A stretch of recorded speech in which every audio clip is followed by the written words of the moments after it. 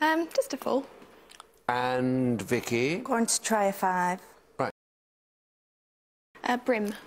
Brim and Gourd. G O U R D. good indeed. It's absolutely yeah. fine. Yes, the vessel. Very good. Yeah. Often made of leather. Now then, what else have we got in the corner? Susie? Tony? We've got six um, morbid.